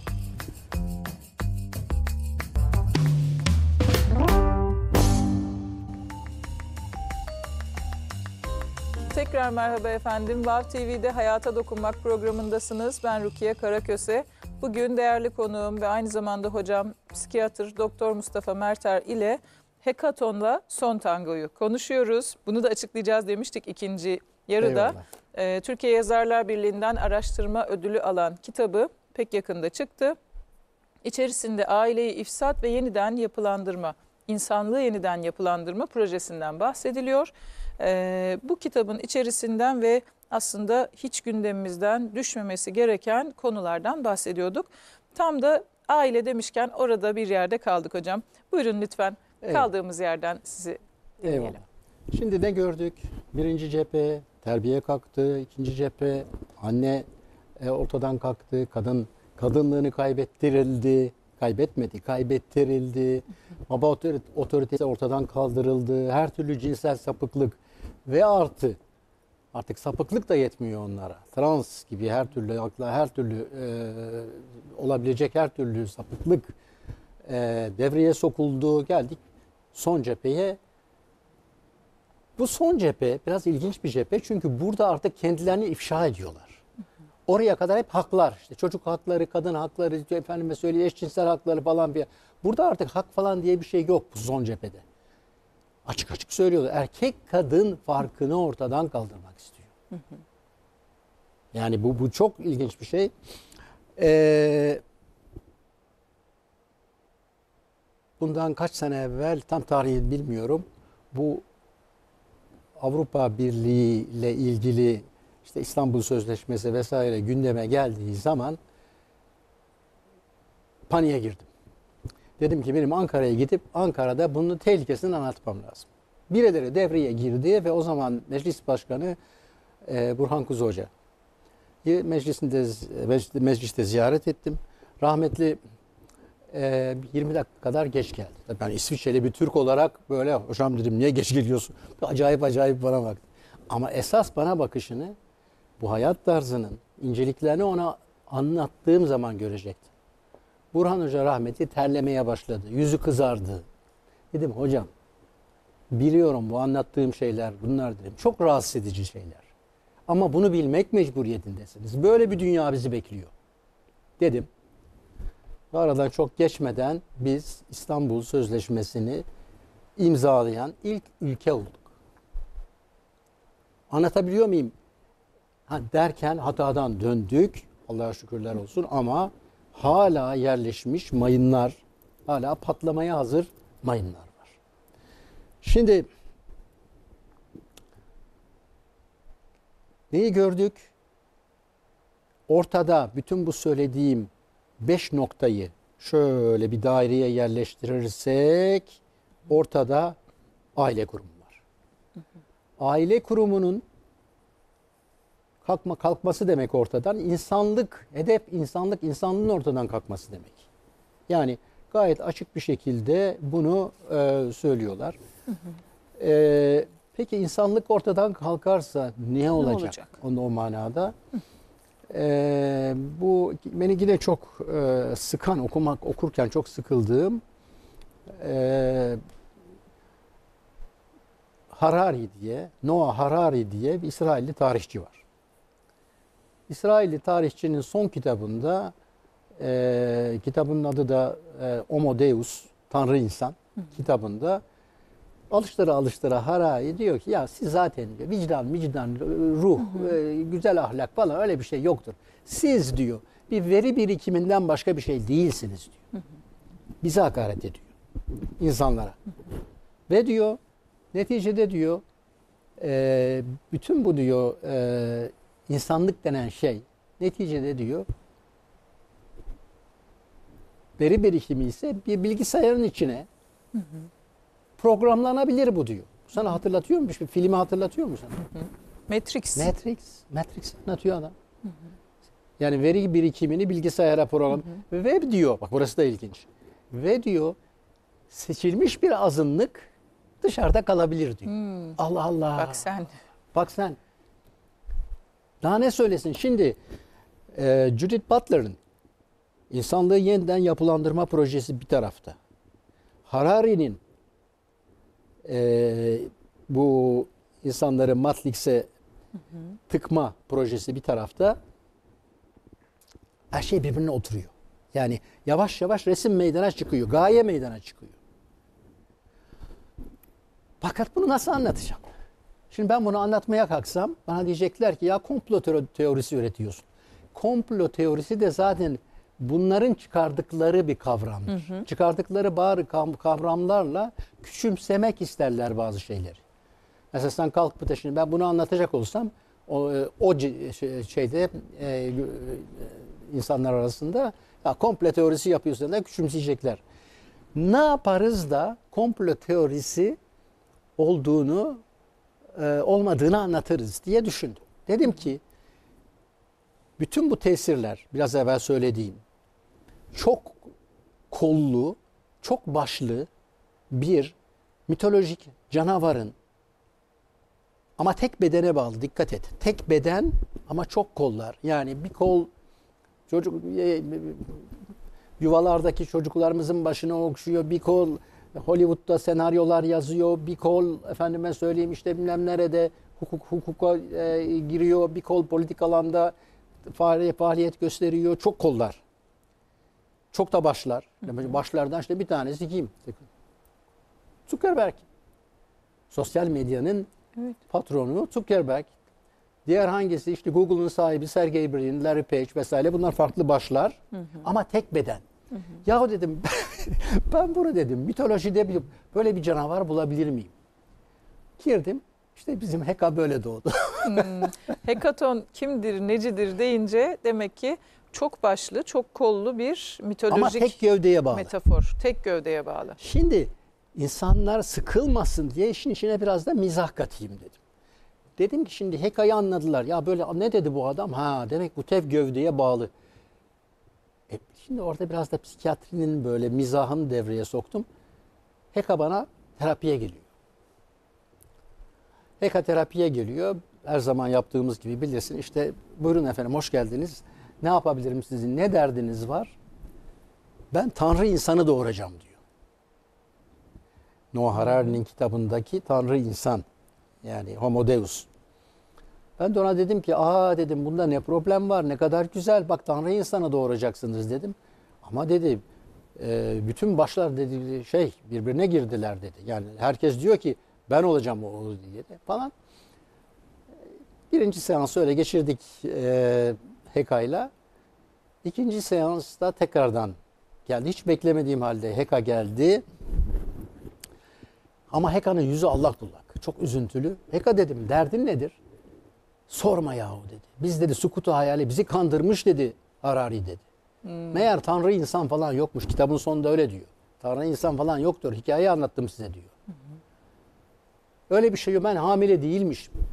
Deyince Heka terapide dedim ki tam fırsatını yakaladım. Bu işin ne olduğunu Heka'dan şimdi önerim. Heka dedim. Artık samimi olduğumuza göre Heka diyordum. Heka, Hekacım dedim. Bu Harari ne yapmak istiyor? Heka şöyle bir sağına baktı, bir soluna baktı. Bütün goyimleri Matrix kafesine kapatmak, kapatmak istiyor dedi.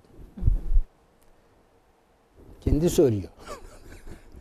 Harari zaten bir proje adı üstünde yani parlatılması, ön plana çıkarılması, ülkemizde dahi çok satanlara çok uzun zaman girmesi ve şimdi gözümüze bakarak insan hakları falan kurgudur, yok öyle bir şey. Hakları bana Diyor. deme insan vicdan yoktur Tabii, diyor, tabii. ruh yoktur diyor. Siz Bunların- hayvansınız. Ha, hayvanları da küçük görüyor kitabında. Bunları bir kurgu gibi varsayıyor ve seçilmiş bir grup azınlığın refahına hizmet edecek şekilde geri kalanın yok edilebilmesini, e, bu, hiçbir mahsur olmadığını savunuyor ki şu an Gazze'de olanlar tam olarak bu zaten. Yani e, oradaki insanları gözünü kırpmadan öldüren bu seçilmiş olduğuna inanan e, gözü dönmüş hırsızlar diyelim.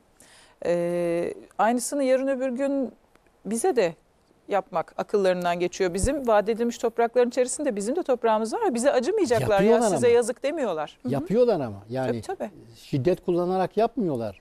Ha, başka ekran, türlü. ekran başka türlü. Hani silah alıp da yok etmek e, hiç mahsur görmedikleri bir şey.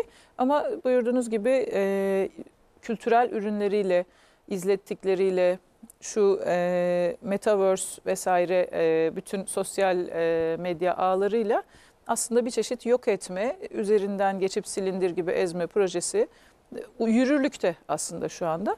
Sosyal medyada peki hocam Matrix dediniz bahsettik ama bir tekrar toparlayacak olursak sosyal medyada bize ne yapıyorlar? Hani şimdi giren insan diyor ki ya ben buradan algoritma, algoritma demek reçete demek. eğleniyorum, öğreniyorum diyor. Sana İrtibatta mesela, kalıyorum. Sana mesela senin bo, bo- beynine bir bomba koyuyor. Programlıyor senin beynine. Mesela Ya böyle bir hayat olur mu? Bir erkek erkekle beraber yaşar mı vesaire. İşte bu aklı selimimiz, sağduyumuz karşı çıktığı zaman homofobi tabirini senin beynine programlıyor. Nedir homofobi? İşte efendim sen eşcinselere haksızlık yapıyorsun, böyle düşünmemen lazım, onların da hakları var vesaire vesaire gibi senin aklında bir mayın var artık. O alana girdiğin zaman aklı selimini dev- devreden çıkartıyorlar. Veyahut seçim. Gencecik kız geliyor, ben erkek olacağım. diyor. Nasıl olur kızım bu? Benim seçimim. diyor.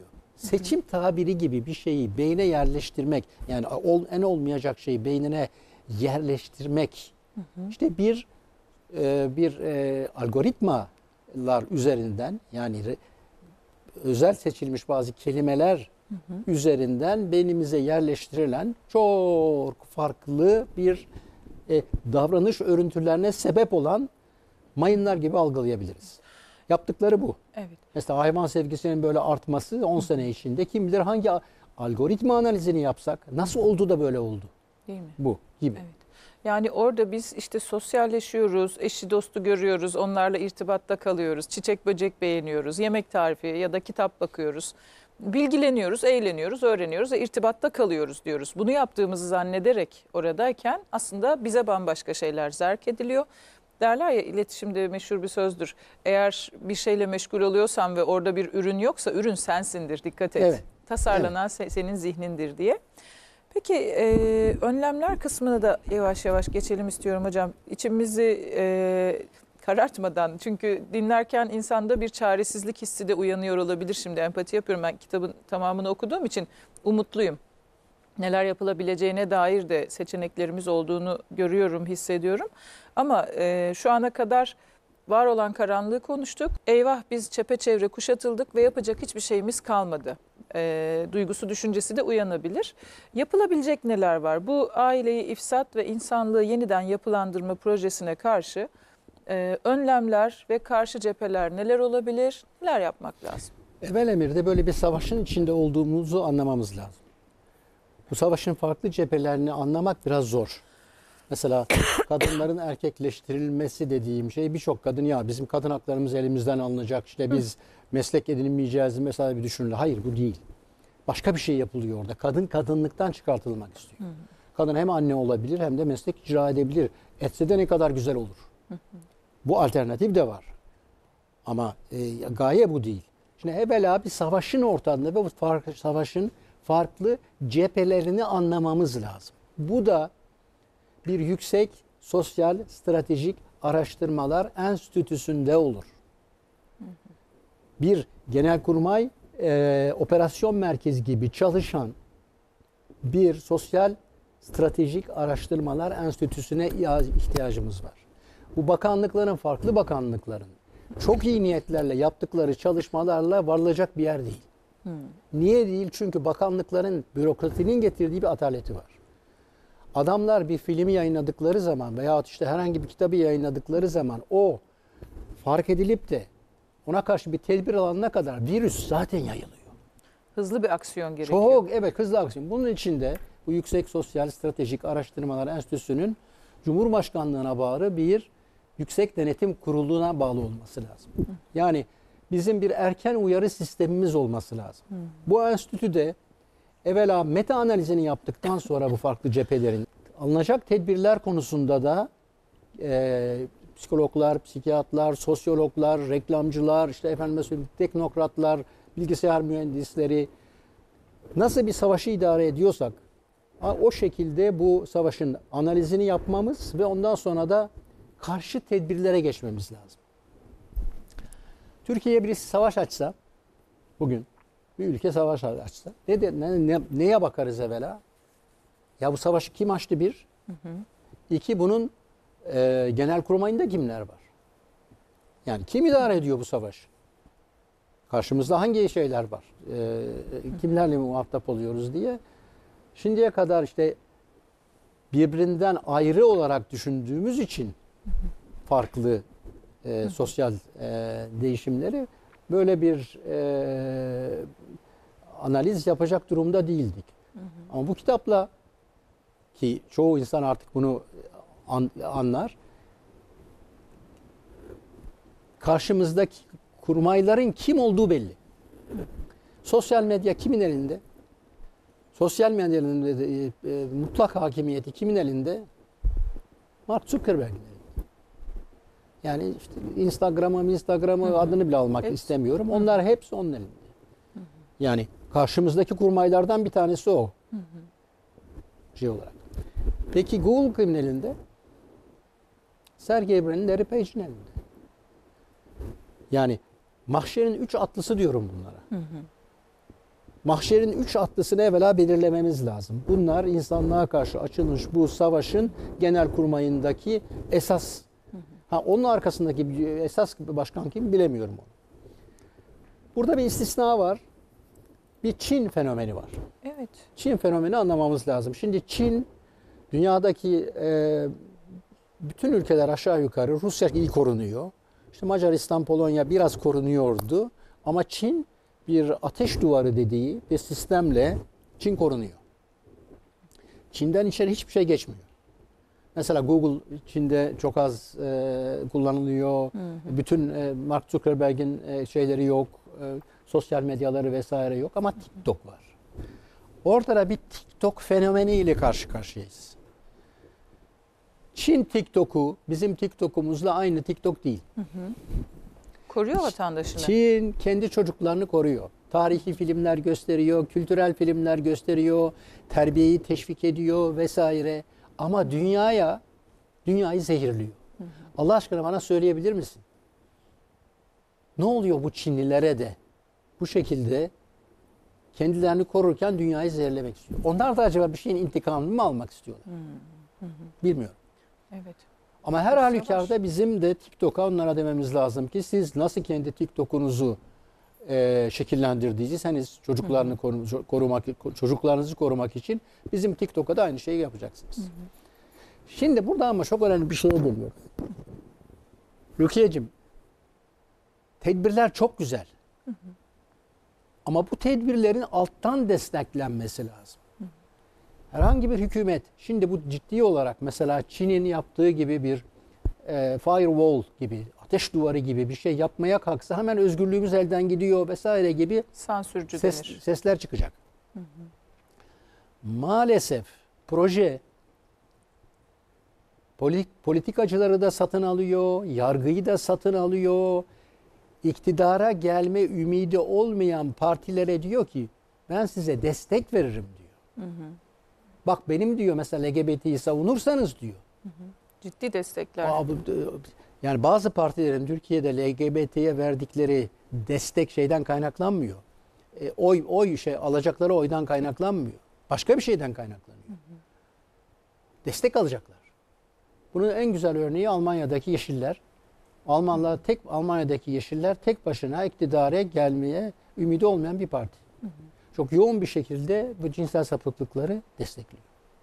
Yani alttan gelen bir halk reaksiyonuyla bunun artık şu partisi, bu partisi, e, şu e, grubu, bu bilmem nesi yok. Bütün çocuklarımız tehlike altında. Yarın öbür gün eğer bu sistem böyle yayılmaya devam ederse hepimiz e, özellikle böyle işte İslami kesimden biz mütedeyyiniz. işte biz namaz, beş vakit namazımızdayız. Biz işte efendime söyleyeyim Umre'ye gittik, haca gittik. Bizim çocuğumuza olmaz demesinler. Çünkü o çocukların elinde de aynı zehir günde 8 saatle biz dünya birincilerinden bir tanesiyiz Maalesef. ekran zamanında. Aynı zehir oradan akıyor. Şimdi demek ki alttan gelen bir reaksiyon yani STK'lar e, partilerin altındaki farklı partilerin özellikle bu işe destek veren partilerin altı, altından gelen baskıyla bu tehlikenin farkına varıp e, bu desteği durdurmamız lazım. Ne kadar durur bilemiyorum. Burada tabii ebeveynler dediniz, halktan gelmesi lazım dediniz. Her bir insana sorumluluk düşüyor Evet. değil mi? Şimdi oraya geliyorum. Ee, bir insana tasavvufta bir kaide vardır. Bir insana bir şey yap dediğin zaman yapmış olman gerekir. Yapmadınsa inanmaz insanlar. Hatta onun çok güzel hikayeleri vardır böyle. Ee, Yeri değil diye şimdi zikretmeyelim. Ama ebeveynlerin kendilerinin ekran zamanlarını bir şekilde azaltıp e, yani günde 8 saatini işte ne bileyim günde 3 saat 2 saate vesaireye indirip kendilerini denetlemeleri lazım. Başka türlü çocuklarımızdan aynı şeyi yapmasını isteyemeyiz. Ayrıca bir proje üzerine çalıştık fakat başarılı olamadık. Bu programda e, inşallah duyulur da bazı bilgisayar mühendisleri işte bu dijital uzmanlar bir ayrıntılı ekran zamanı analizi yapacak programa ihtiyacımız var. Onu veriyor. Mesela Apple veriyor onu. Orada bir bir şey. Ama onun daha ayrıntılısını yapacak bir programa ihtiyacımız var. Çok kabaca veriyor. İşte şu Kabaca kadar veriyor, saat aynen. video, şu kadar Aynen. saat üretkenlik, Aynen. e, eğlence diye. Aynen, aynen. Onun daha ayrıntısını yapacak. Yani kişi mesela sen diyelim ki e, birisi sana terapiye geldi.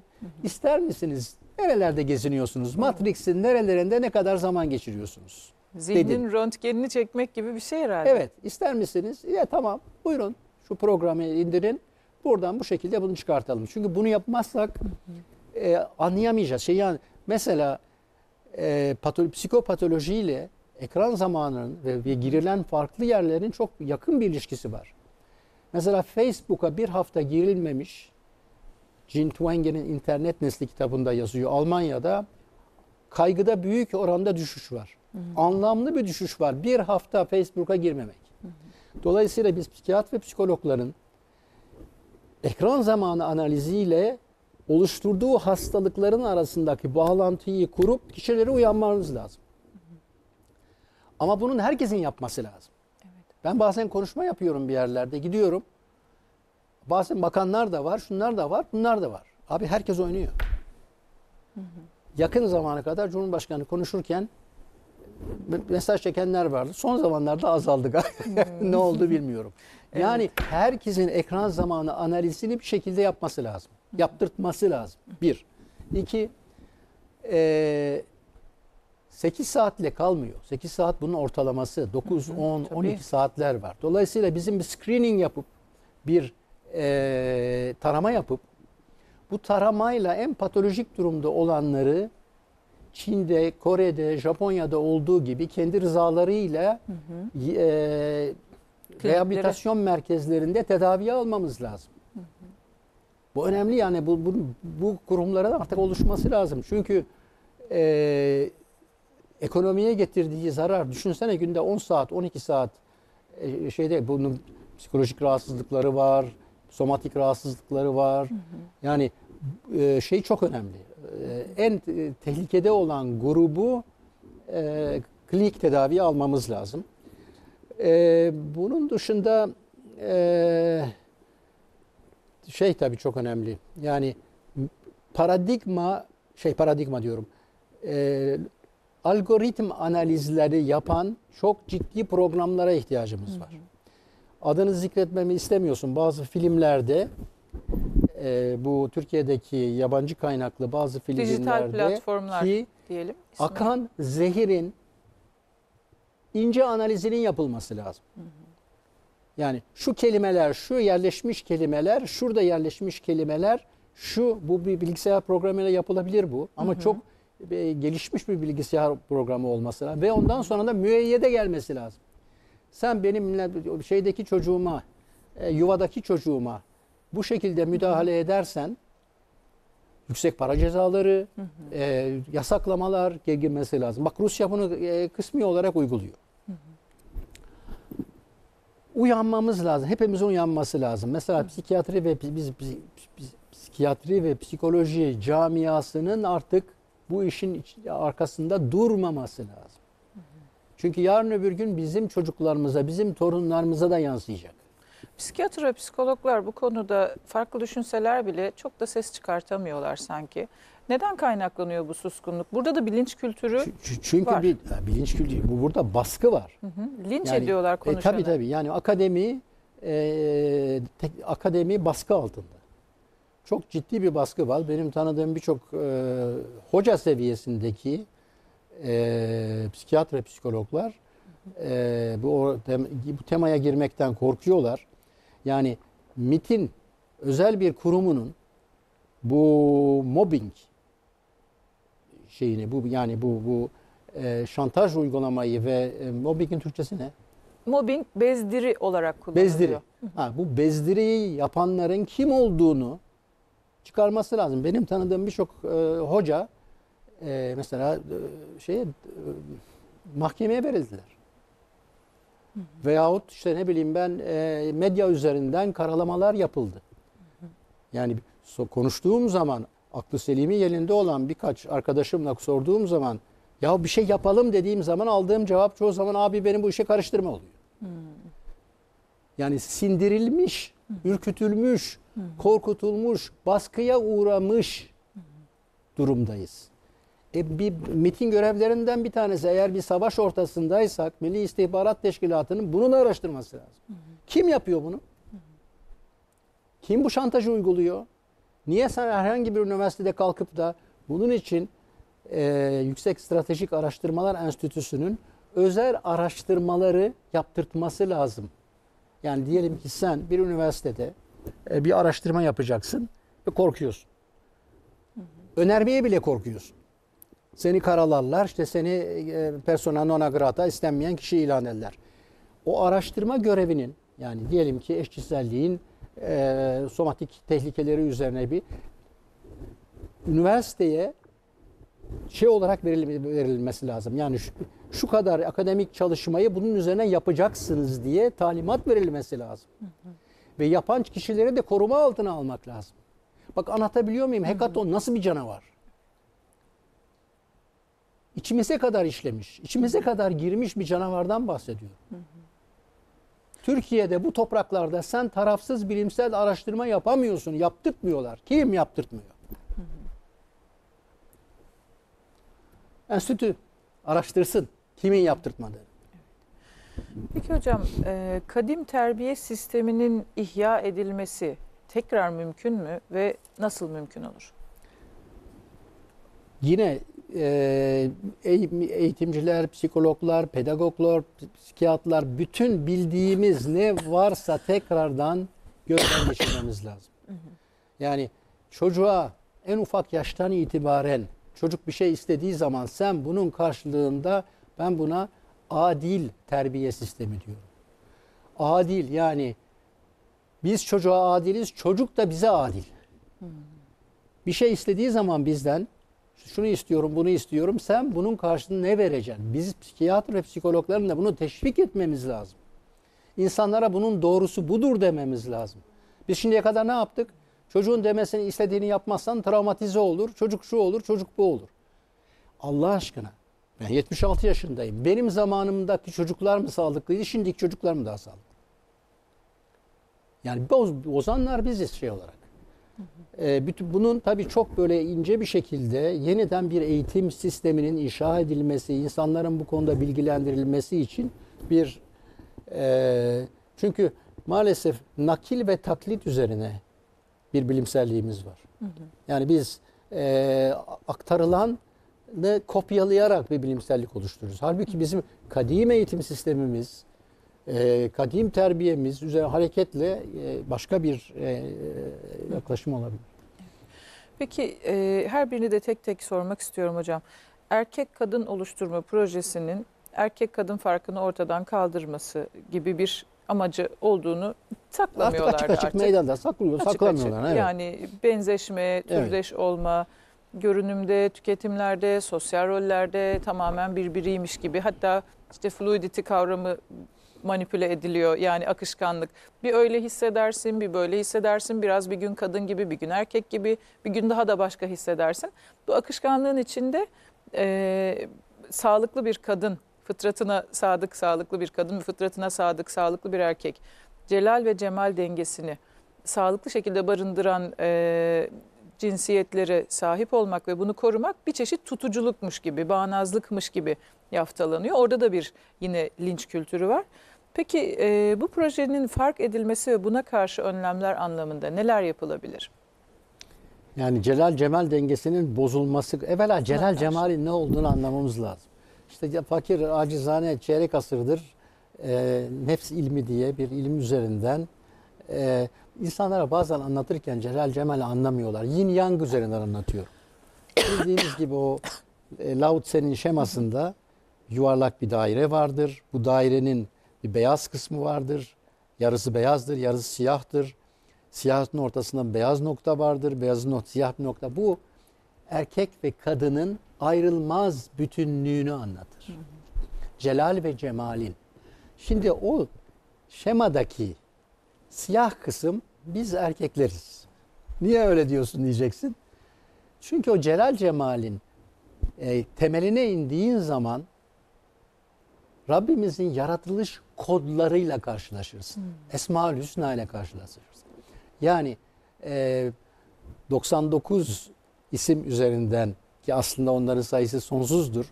Esma-ül Hüsna e, bir şekilde çalışılırken işte bütün cemal isim Rahman, Rahim, Vedud, Müheymin, e, Hafız, Nur bütün bu isimler hepsi cemal isimleridir.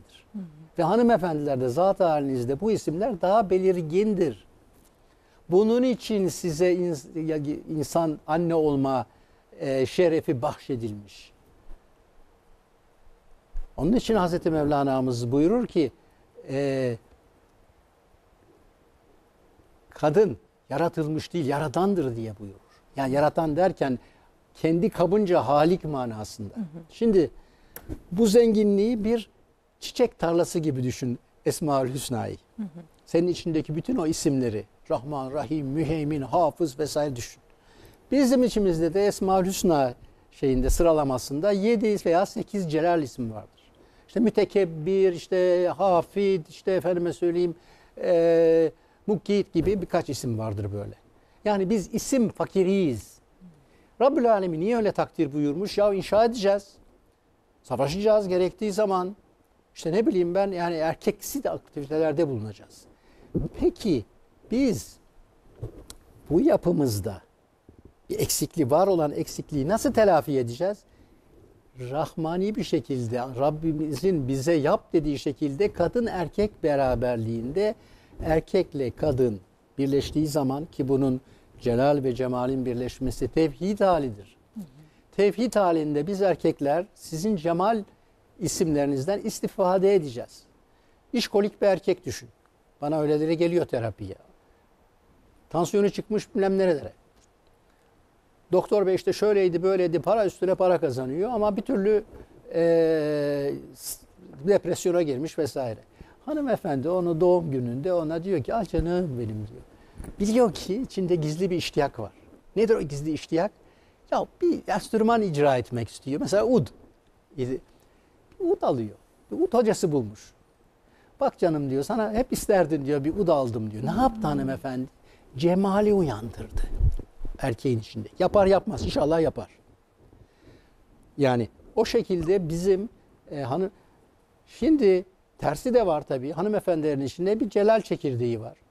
Allah göstermesin kocasını kaybetti, savaş var, bir şey var. Kadının da bir şekilde erkek gibi mücadele. Rabbül Alemin onu da öngörmüş.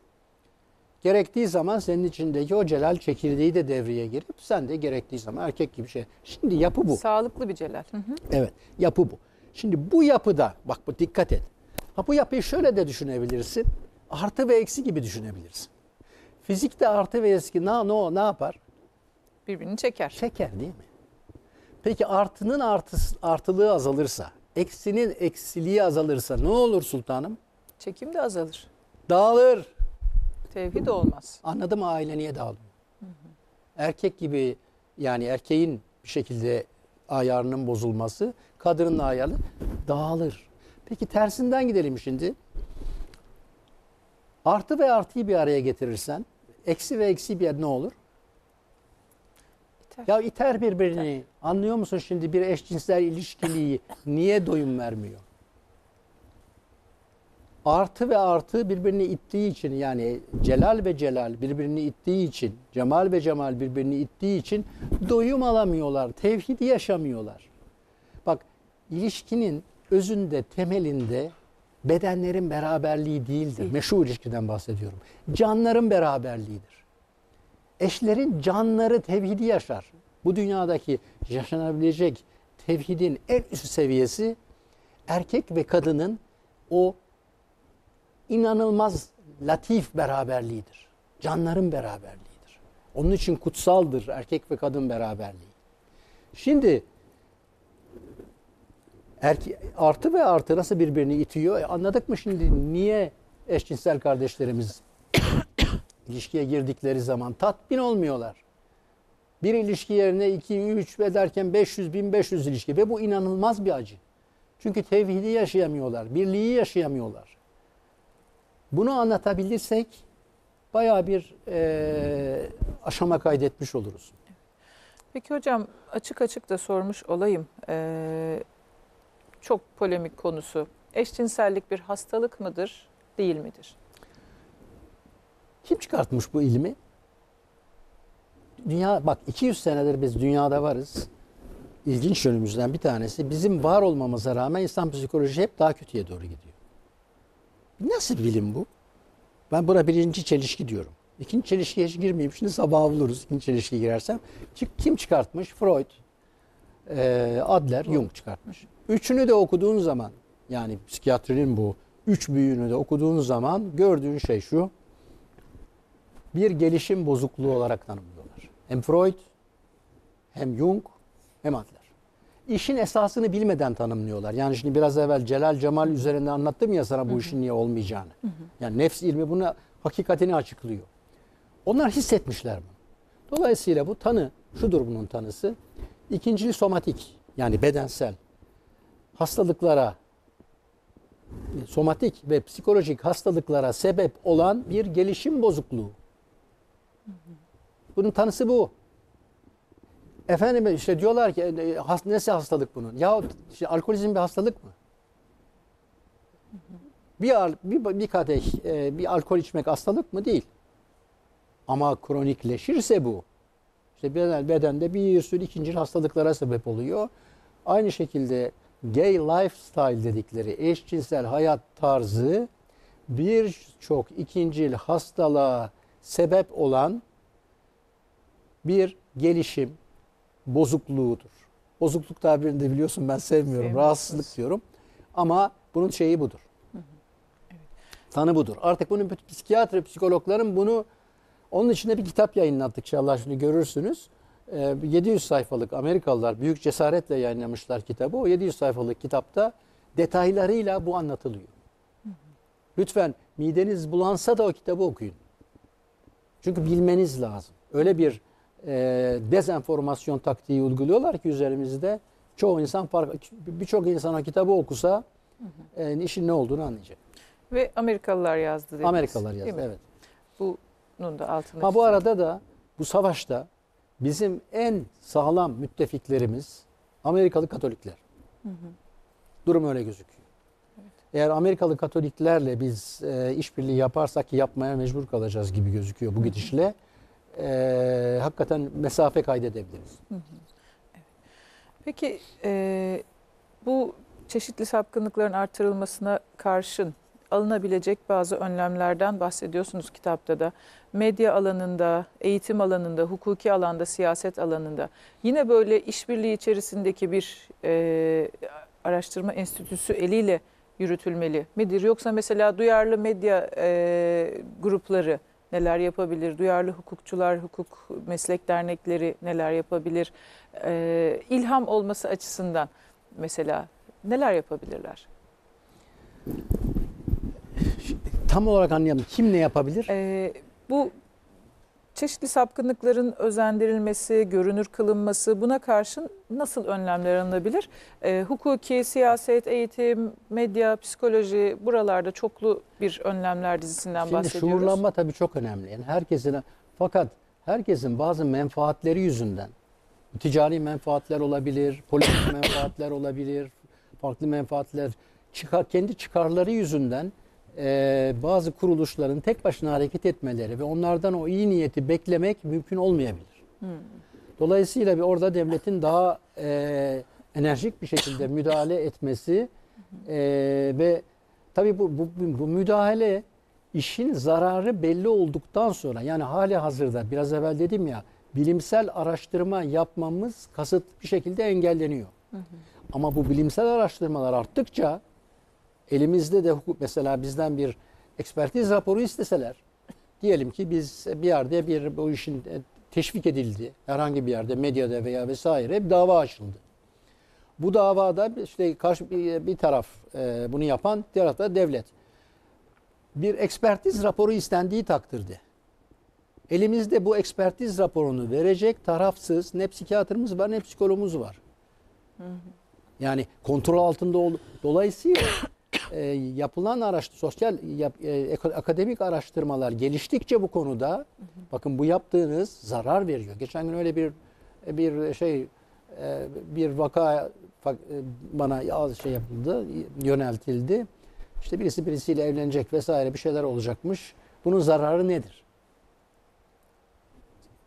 Yani bu ince yapı bilinmediği için çoğu insan, çoğu psikiyatr ve psikolog ya tarafsız kalıyor veyahut da bunun zararı yoktur. Evet.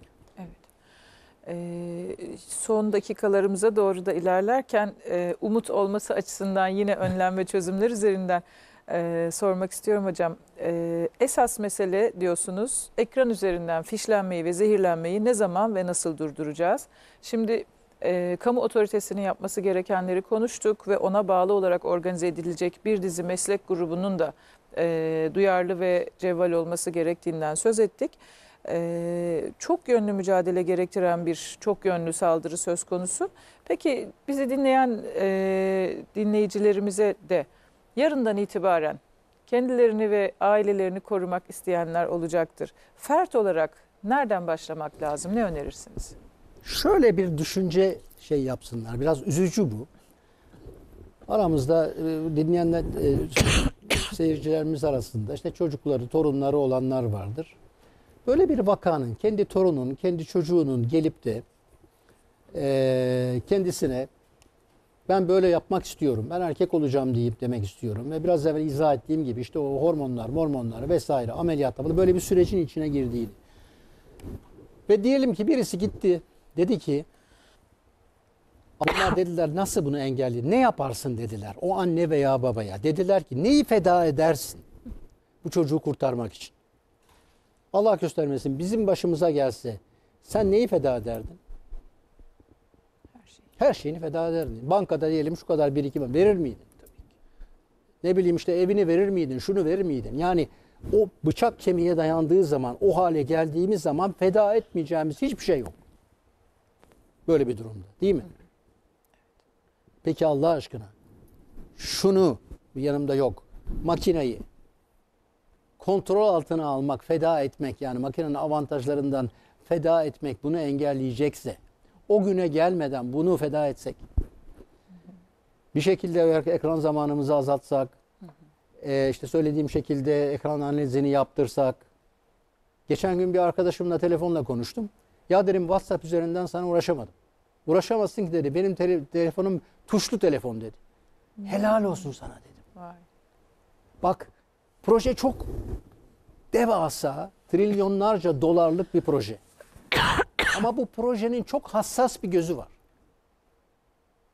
Ne o hassas göz? Ya şu makine. Bu makineyi hayatımızdan çıkarsak proje çöker. Biliyorum hayattan çıkartmak çok zor geliyor şimdi şu aşamada. Herkese çok zor geliyor. Ama şöyle bir şey yapacaksan bu bunu hayatından çıkar senin çocuğunu kurtaracağım dese birisi.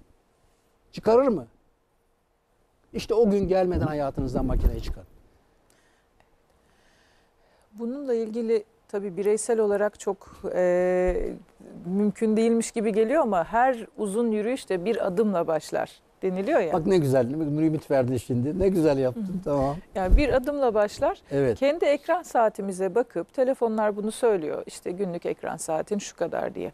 Bakıp bir ortalama çıkarıp bir ay içerisinde mesela ne kadar zaman ayırmışım ben buna ve nasıl azaltabilirim? Hangi uygulamada ne kadar zaman geçirmişim diye bakıp yani günde şu kadar saati şu uygulamada geçirmeme gerek var mı? Hakikaten vaat ettiği kadar eğlence, bilgi, e, iletişim, irtibatta kalma gibi şeyleri bana veriyor mu ve ne alıyor benden? Buna bakıp kendi ekran analizimizi yapsak ve e, bir miktar azaltarak başlasak işe yani 5 saatse 4'e düşürmek bir hedef olabilir belki. E, ve o kalan vakitte üretken olarak neler yapıyoruz? manevi anlamda kendimizi beslemek için. e, şimdi yeni yıl e, civarındayız. Böyle kararlar almak filan bunlar konuşuluyor. Mesela işte sevdiklerinizi daha sık arayın. Ekran saatinizi azaltın. Aile bireylerinizle daha çok zaman geçirin gibi öneriler duyuyorum. Çok hoşuma gidiyor. Bunları işte sıralayıp e, İşte ama işte paylaşıyorlar. hipnoz etkisi çok iyi. Hah. Yani hipnoz durumundayız. İçine Geçen gün giriyor. bir kitap okudum. Bir ah keşke o kitabı şey yapsaydık. Cep telefonundan nasıl kurtulurum diye bir İngiliz e, profesörün yazdığı bir Çok kitap. güzel. Diyor ki haftanın bir günü per- perhiz yapın diyor. Hı hı. O Evet. gün tel- cep telefonu kullanmayın diyor. Dijital, Haftanın bir günü. Aha, Dijital- dijital detoks diyorlar şimdi. Kişisel detoks diyor. Evet. di- dijital, dijital. dijital detoks. Evet. Evet. O tarz şeyler yapılabilir. Ama yani zor bir süreç. Yani bunun bunun Kolay olmayacak. öyle hipnoze hipnoz altındayız ki şu anda. E, Yani bak ayet-i kerime der ki la taknetu min rahmetillah. Allah'ın rahmetinden ümidini kaybedin. Kaybedemeyiz. Eğer meselenin esasını anlar, savaş içinde olduğumuzu anlarsak, ve hakikaten çocuklarımızın tehlikede olduğunu, geleceğin tehlikede, insanlığın tehlikede olduğunu anlarsak daha e, etkili tedbirler alabiliriz. Bu hem bireysel hem toplumsal olarak uzun soluklu bir mücadeleyi Evet. gerektiriyor Evet. anlaşılan. Evet. Çünkü bu hale bir günde gelmedik. Evet. Bir filmde gördüğümüzde tepki verdiğimiz ya da bir dizide işlendiğinde bir tema e, olur mu öyle şey canım bizim aile yapımıza ne kadar aykırı dediğimiz şeyleri tekrar tekrar tekrar izledikçe 10 yıl içerisinde sayısız yapımda gördükçe maruz kala kala kala alıştık. Bazı konulara 10 yıl önceki gibi bakmıyoruz çoğumuz. Bizim çocuklarımız zaten bizim gibi bakmıyor. Bu zihniyet değişimi, dönüşümü bir günde olmadı. İyileşme de kısa sürede olmayacak diyebilir miyiz? Çok kısa sürede çok devrimsel bir şey değil de sabırla yavaş yavaş. Benim Devam. ümidim detoks merkezlerinden geçiyor. Yani kişi bakın çünkü istediği kadar söyle öyle bir alışkanlık içine girmiş ki onun şahsi iradesine bıraksan ya yapma etme yapamayacak ama detoks merkezinde kendi rızasıyla gittiği bir detoks bir ay ben buradan merkezde kalacağım diye ki bunun örnekleri var Evet. e, yabancı ülkelerde. O detoks merkezine girip çıkanlar da düzelme oranı çok daha e, yüksek. Ayrıca tarama yapmamız lazım. Özellikle gençler için. Yani ekran zamanı taraması yapmamız lazım ve en tehlikede olanları e, bir şekilde e, bu söylediğim detoks merkezinde acilen tedaviye almamız lazım. Çünkü ekonomiye çok büyük bir yük getirecek bu. Yani bu çocuklar kötürüm gibi yaşayacaklar. 10 saat, 12 saat e, ekran başında olan kötürüm bir insan. Bir de işin ekonomik boyutu var bu şey olarak. Hem fiziksel yarattığı, e, yol açtığı arızalar var. Hem zihinsel hem sinir sistemine çok olumsuz etkileri var Evet. ki bunlar bugün artık ufak ufak konuşuluyor. E, ruh sağlığını, beden sağlığını ve maneviyatını korumak isteyen bu konuda uyanık olmalı. Mutlaka bir gözü kulağı açık olmalı. Ve e, bu saldırıya diyelim, bu çok organize olan saldırıya karşı en azından ben ne yapabilirim diye bir çabanın, gayretin içinde olmak artık demek ki bizim için kaçınılmaz. Değerli hocam çok teşekkür ediyorum verdiğiniz bu kıymetli bilgiler için. Bu rahatsız halinizle sizi e, yordum, üzdüm. Çok özür dilerim. Estağfurullah ben özür dilerim bazen öksürüklerle kesildi ama Fakir de Çok- teşekkür ederim. estağfurullah ben teşekkür ederim hocam. Değerli izleyenler biz bugün Hekaton'la Son Tango'yu konuştuk. Bu e, küresel sistem tarafından aileye yapılan saldırıları ve bunlara karşı yapılabilecek çözüm önerilerini konuştuk. Bunları masaya yatırdık. Diliyoruz ki ilham verici olmuştur. Bir sonraki hafta görüşmek dileğiyle efendim. Hoşçakalın.